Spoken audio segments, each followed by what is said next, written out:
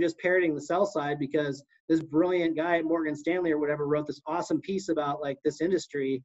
And you know he knows way more than that than I do. And but like oh by the way I'm going to tell my PM that I agree with this guy or whatever. So right. you know like the value add it can be kind of kind of hazy. Um so just it depends. And and so I think like going into it you know making the buy side is not everything. It's just it's are, are you passionate about investing are you passionate about the markets so I think that's a big question because it because buy side sell side you can still kind of feel like you're just you know kind of reporting the news. They print, you react. Even on, it's interesting because you say that even on the buy side, you kind of felt like, well, yeah, you're still looking at the, the smartest sell side analysts to see. And absolutely, oftentimes you're just agreeing with that. And, you know, where are you adding additional insight?